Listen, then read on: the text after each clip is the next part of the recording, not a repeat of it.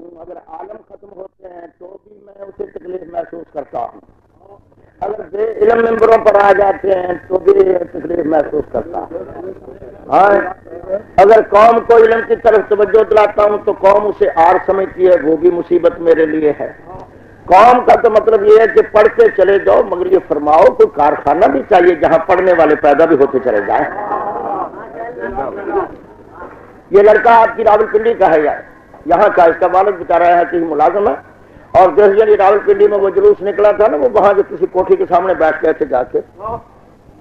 یہ لڑکا اس دن میرے ساتھ گیا تھا یہاں سے۔ اب یہ مولوی کا امتحان بھی پاس ہے اور یہ تقریر بھی تمہارے سامنے کرتا ہے۔ مگر وہ مصیبت ہے دلجتی ہے، نظری بچارا لہذا اردو صحیح نہیں بول سکتا، لیکن میں اتنے مبلک پیدا کر کے آپ کو دے جاؤں گا۔ کہ میرے مرنے کے بعد بھی گلی گلی ہوگی اور علی علی ہو جائے گا۔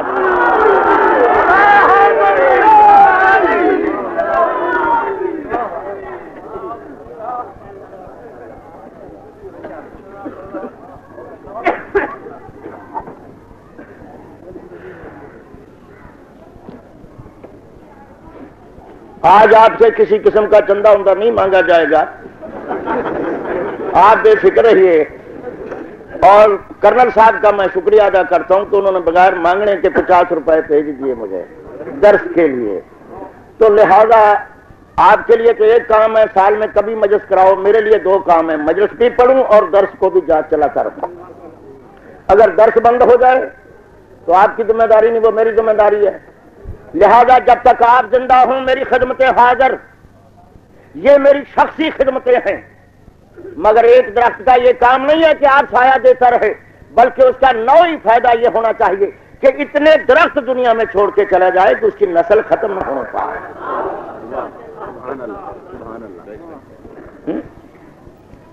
حافظ کفار خان صاحب جب سے فوت ہو گئے ہیں، یہ باقی علماء کرام بوڑھے ہو گئے ہیں، نہ لاہور میں مولی مل رہا ہے، ترابی صاحب مر گئے ہیں، نہ کسی جگہ مل رہا ہے۔ بیچارے ذاکر ہیں جو تمہارا گزارا کر رہے ہیں، مگر یہ فرماؤ اگر سارے حافظ ہی رہ جائیں عالم رہے کوئی نہ، تو ترابیاں تو رہ جائیں گی، علم کہاں سے آئے گا فرما؟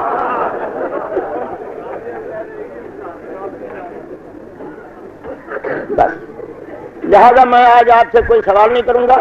بعد مجلس اگر کسی صاحب نے اپنے دستے حق پر سے خود درس کی امداد میں حصہ شامل کرنا، تو وہ اس کی اپنی مرضی ہے۔ مگر میری طرف سے کوئی جبر نہیں کرا نعرہ ہے لگاؤ، شروع کرتا ہوں۔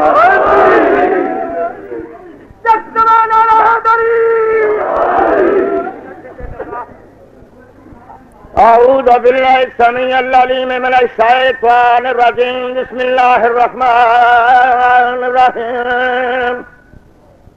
الحمد لله وكفى وسلام على عباده الذين اصطفى. خصوصا على محمد المصطفى وأهل بيته الطيبين الطاهرين الشرفاء.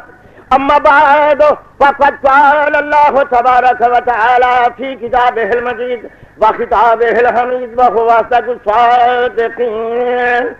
انما يريد الله ليذهب عنكم رجس اهل البيت ويطهركم تطهيرا صلوات الله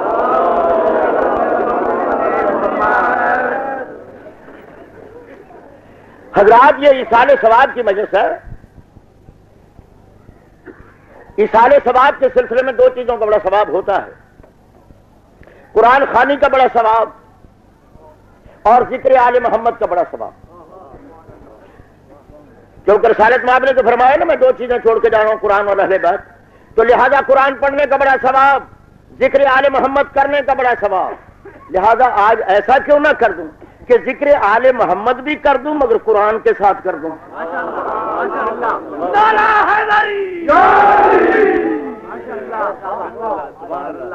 تاکہ قرآن خانی کا ثواب بھی آ جائے اور ذکر آل محمد کا ثواب بھی آ جائے۔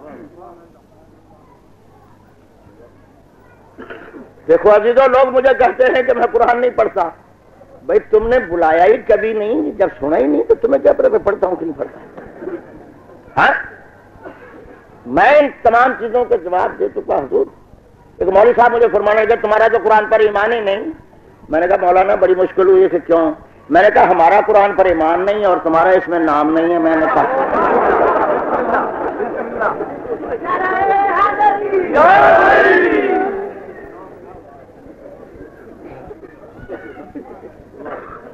سمجھ گئے ہیں آپ؟ دیکھو، سچی بات یہ میں قرآن شریف کے سوا کچھ نہیں مانتا۔ باقی اگر کسی کتاب کو بھی مانتا ہوں تو اس قرآن کے تابع کر کے اگر یہ اس کی تصدیق کرے تو مانتا ہوں، اگر یہ تصدیق نہ کرے تو نہیں مانتا۔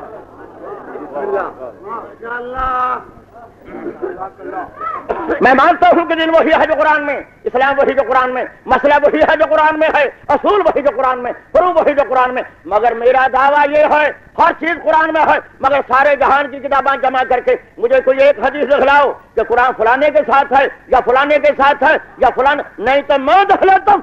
آل قرآن علی جن والی عمل قرآن قرآن علی کے ساتھ علی ہمیشہ قرآن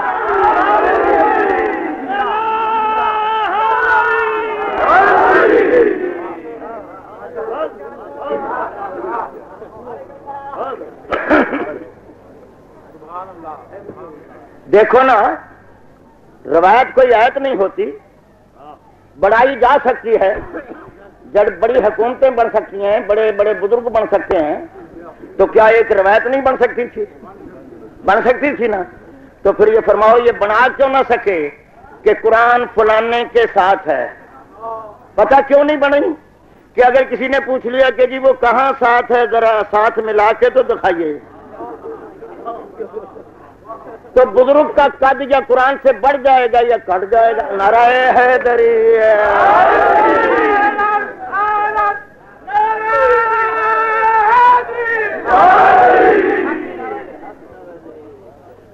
قرآن علی کے ساتھ ہے۔ آل قرآن علی لفظ ماں وحدت مکانیہ کے لیے آتا ہے۔ جیسے ورکا عمار راکین رکو کرو رکو کرنے والوں کے یہ مطلب نہیں ہے کہ وہ مسجد میں رکو کر رہے ہو تم گھر میں نیت مانگ لو۔ تمہارے اور ان کے رکو کا مکان ایک ہو۔ تو جب قرآن علی کے ساتھ اور علی قرآن کے تو معلوم ہوا ہو کہ قرآن کا اور علی کا مکان ایک ہے۔ علی کا اور قرآن کا مکان ایک ہے۔ اگر کبھی کسی سینے میں قرآن آ جائے اور علی نہ آوے سمجھو قرآن ابھی آیا ہی نہیں۔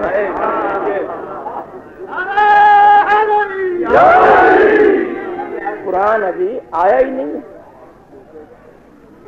لہذا میرے عزیز اور میرے بھائیوں قرآن علی کے ساتھ ہے۔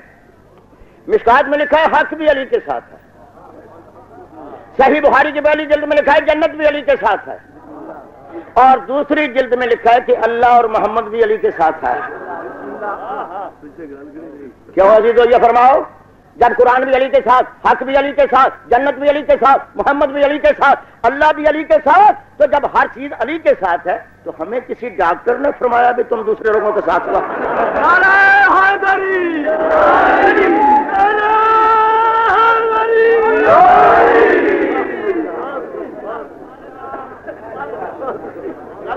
ہم بھی علی کے ساتھ۔ ہم بھی مولا علی کے ساتھ۔ جب ان کے ساتھ ہر چیز ہے ہم بھی ان کے ساتھ ہیں۔ آپ کو پتہ ہے میں آپ کی قوم کا بہت پرانا چالیس سال کا مشہور خادم ہوں۔ صرف آپ کو مجلسیں نہیں سنائی، بلکہ کچھ بیرونی حملے بھی روکے ہیں۔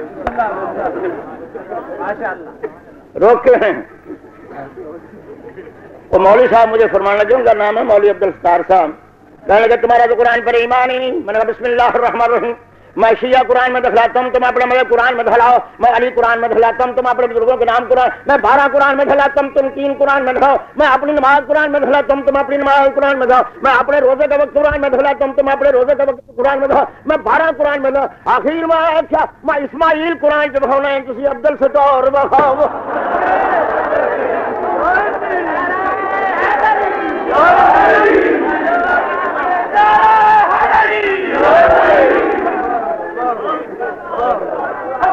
بخاؤ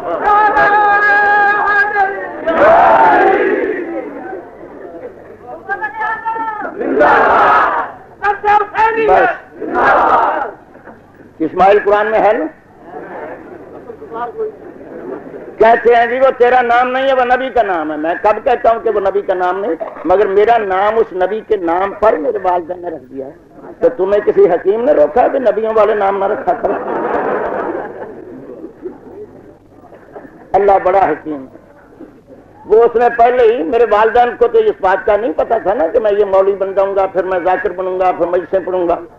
ان سے نام ایسا رکھوا دیا، بچپن میں جو قرآن میں مل جائے۔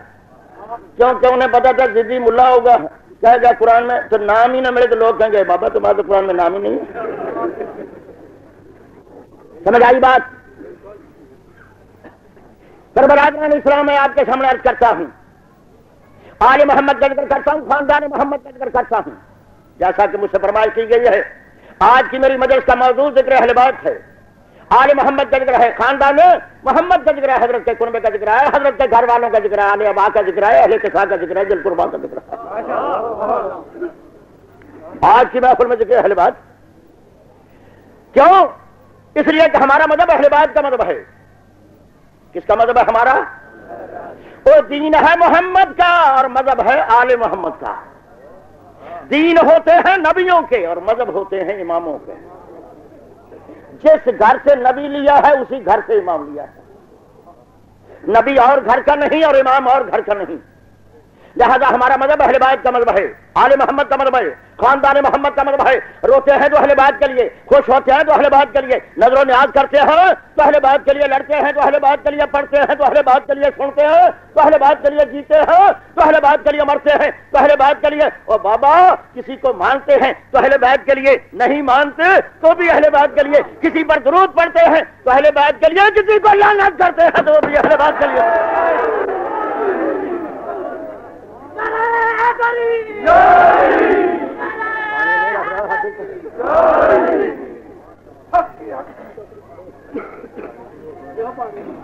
ذکر ہمارا مذہب، ہمارا اہل بیت کا مذہب ہے۔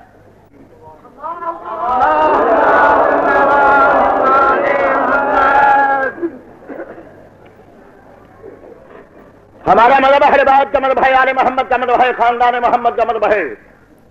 اہل بیت کے معنی ہیں گھر والے۔ کیا معنی ہیں؟ بیت عربی میں گھر کو کہتے ہیں۔ تو ہمارا مذہب ہے گھر والوں کا۔ دوسرا فکر میں نہیں کہوں گا۔ ہمارا مذہب ہے گھر والوں کا۔ جو گھر کے مالک ہیں، دیکھو کتنا مجمع ہے۔ مگر یہ فرماؤ، آپ سے نہ میں نے روٹی مانگی ہے، نہ پانی مانگا ہے۔ کیوں مجھے پتا ہے کہ اگر کسی صاحب سے میں کہوں گا، مجھے پانی چاہے وہ کہے گا، میں جی فلان جگہ سے آیا ہوں باہر سے۔ میں ابھی کسی گھر والے کو کہتا ہوں، وہ آپ کو پانی لا کے دے دے گا۔ تو یہ فرماؤ، اتنا مجمع ہے، یہ ڈیوٹی بھی گھر والے کی کہ یہ لا کے دے دے گا؟ تو ان مسلمانوں سے کون پوچھے؟ بھائی جب گھر والوں کے بغیر تمہیں پانی کا گلاس کوئی نہیں دیتا، تو اہل بیت کے بغیر تمہیں جنت کون سے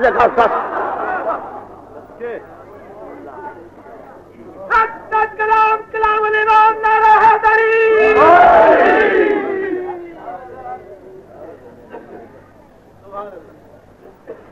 اہل بات کے معنی ہیں گھر والے، اور صحاب کے معنی ہیں صحبت میں بیٹھنے۔ لفظ صحبت کرابت اور صحبت کا فرق ہے۔ کرابت اور ہے، صحبت اور ہے۔ ہمارا مذہب کرابت والوں کا ہے۔ صحبت کا معنی ہے ایک چیز کا، دوسری کے ساتھ لگ جانا، جیسا لوگ کتابوں میں لکھا ہے۔ جیسے یہ اچکر میں نے پہنی ہوئی ہے، لیکن اگر پسینہ آئے یا گرمی آ جائے تو اتار بھی تو سکتا ہوں نا اور یہ پگڑی ہے میری، اس کو مصائب کے وقت اتار دوں تو کوئی حرج نہیں۔ اور وہ جوتا ہے، وہ پچاس روپئے کا اتار کے ممبر پر آیا ہوں۔ ٹھیک ہے نا؟ جوتا وہاں اتار دیا۔ اچھا، اچکن اب اتار دوں گا، گرمی آئے گی۔ پگڑی مصائب کے وقت اتار دوں گا۔ تو یہ تینوں چیزیں مجھے اتارنی پڑیں گی، للو ابل آخر ان کو اتارنا ہی پڑتا۔ ہے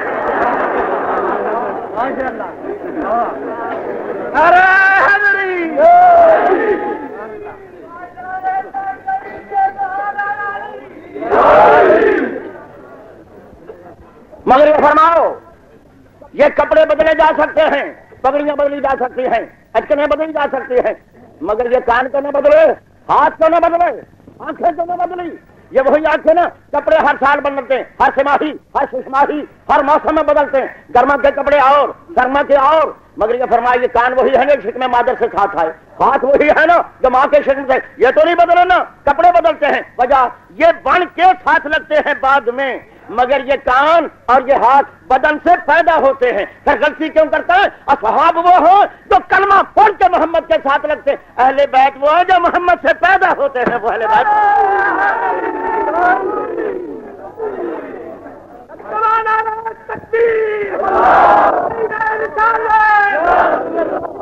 پاکستان سب کلمہ مسلمان پکارا کلمہ حیدری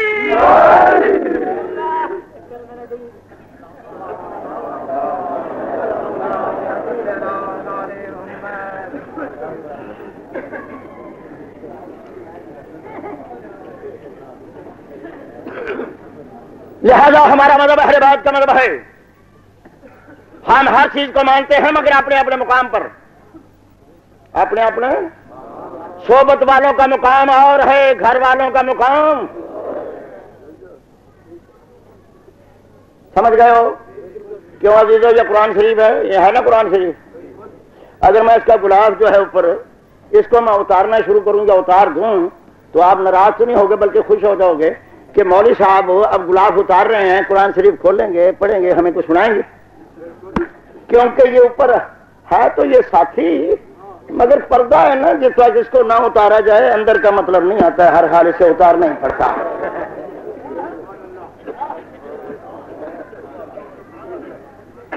مگر یہ فرماؤ، اگر گلاب اتار دوں تو کوئی ناراضگی نہیں، لیکن اگر آپ کے سامنے معاذ اللہ خاتم بدہن قرآن مجید کا ورک پھاڑ دوں اور پھاڑ کے یہاں رکھ دوں تو میرا خیال ممبر سے مجھے اتار دیں آپ۔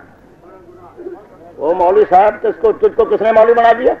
تو یہ فرماؤ اس ساتھی کے اتارنے پر آپ ناراض کیوں نہیں؟ اس ورق کے پھاڑنے پر کیوں ناراض ہیں؟ وہ یہ ساتھی ہے یہ ٹکڑا ہے۔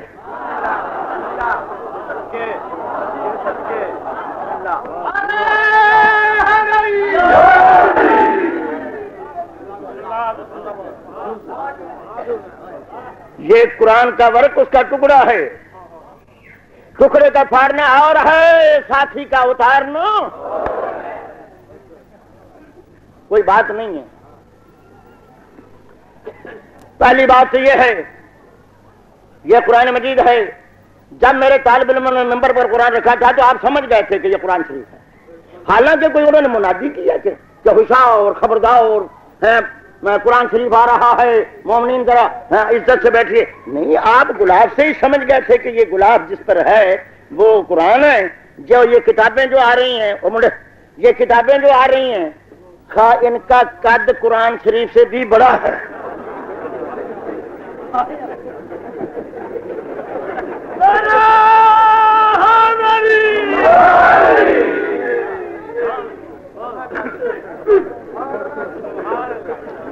ان کتابوں کا قد قرآن شریف سے بھی بڑا ہے مگر وہ کتابیں اور یہ قرآن تو کیا نشانی ہے اس پر گلاف ہے اس پر گلاف نہیں ہے اور خدا کے بندہ یہ فرما یہ لال پور سے دو روپے کا کپڑا ہے جو لے کے اس پر دیا ہے تو اس نشانی سے سمجھ گیا کہ یہ قرآن ہے یہ قرآن ہے جس پر گلاف نہیں ہے وہ کتاب ہے اگر تو لال پور کا کپڑے سے سمجھ گیا کہ یہ قرآن ہے تو پھر جن پر محمد کی ذات نے تطہیر کی چادر کا گلاف چڑھا دیا ہم کو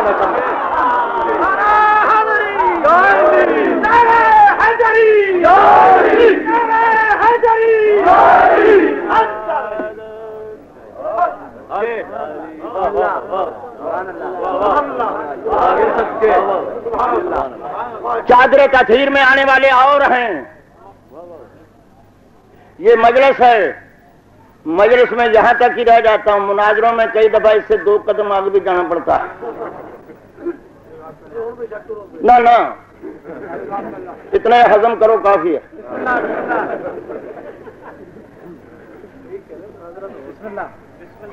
مجلس نام ہے، صلح صفائی کا، مناظرہ نام ہے لڑائی کا۔ میں یہاں مجلس پڑھنے کے لیے آیا ہوں۔ تو یہ قرآن مجید ہے نا؟ لو فراج کروں آپ کے سامنے، ہمارا مطلب یہ ہے کہ آل محمد اور ہے امت محمد، لیکن پہلی عرض یہ کہ کوئی اختلاف تو کچھ نہیں، مگر قرآن کا مرتبہ اور ہے، کتاب کا مرتبہ۔ ان کو ملاؤ نہیں۔ دیکھو نا، میں آپ کی قوم کا ایک پرانا خاتم ہوں، لیکن میں سید نہیں۔ میں امتی ہوں۔ میرے پیچھے پیدا ہو کے لوگ سید بن گئے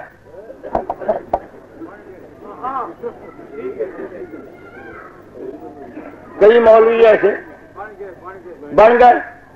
لیکن میں وہی امتی کا امتی۔ آج میری عزت کرتے ہیں، سید بھی عزت کرتے ہیں۔ مولوی محمد اسماعیل صاحب ہمارے مذہب کے خادم آدمی ہے ٹھیک۔ لیکن جب تک مولوی بنا رہوں، امتی بنا رہوں تو عزت